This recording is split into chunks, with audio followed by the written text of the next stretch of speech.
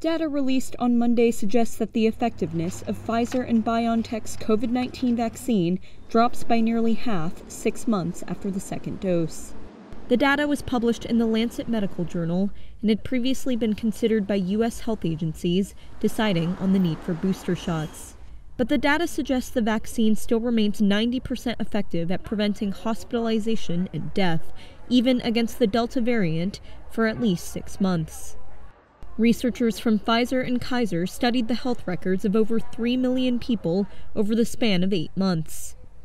The analysis suggested Pfizer's vaccine effectiveness against the Delta variant was 93% after the first month, plunging to 53% after four months. Against other variants, efficacy declined from 97% to 67%.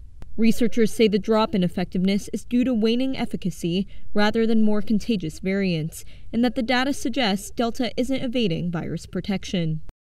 Meanwhile, there was no data on the occupations of study participants, nor their adherence to mask wearing guidelines, either of which could have affected their likelihood of virus exposure. The U.S. Food and Drug Administration has authorized Pfizer booster shots for older adults and Americans at high risk of getting infected. Scientists have called for more data on whether boosters should be recommended for all.